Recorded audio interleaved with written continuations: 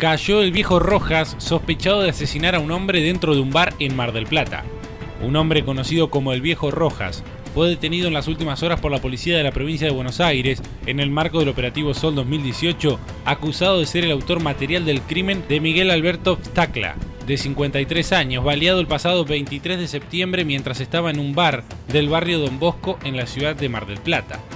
La detención del sujeto, de 66 años y con antecedentes por tenencia ilegal de arma de fuego y lesiones leves, fue llevada a cabo por efectivos de la DDI local en la casa del imputado, cita en la calle 1 de mayo del 1800.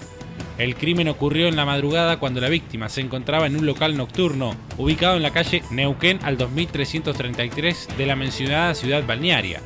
Desde una pickup gris con doble cabina en la que iban varios hombres, uno de ellos disparó contra la víctima, hiriéndola en la axila izquierda.